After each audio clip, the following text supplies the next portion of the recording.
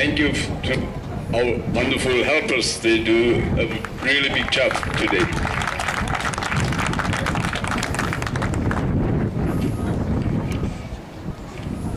We've seen David Greene with Luigi.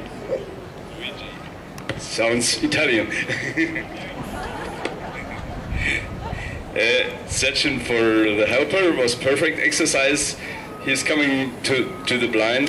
Helper uh, should at the beginning should bark a little bit more and should be should show a little bit more pressure against the, the helper. It's only in the blind outside it's much more better. Uh, you need two commands plus for to lay him in before the flight, before the escape.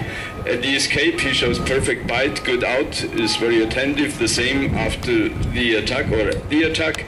Uh, back transport is perfect. He goes with much energy into uh, the into the helper. The grip should be a little bit more calm. The out is perfect. The attack uh, out of motion. He's coming very fast. Shows a good good out. Uh, defense against uh, the dog. Uh, he shows a really good bite work, good out. Is very very attentive. But on both uh, side transports, he should give the helper more freedom. He is too close to the helper. Goes uh, not straight beside the helper. But these are small things altogether. The highest SG, 95 points. Congratulations.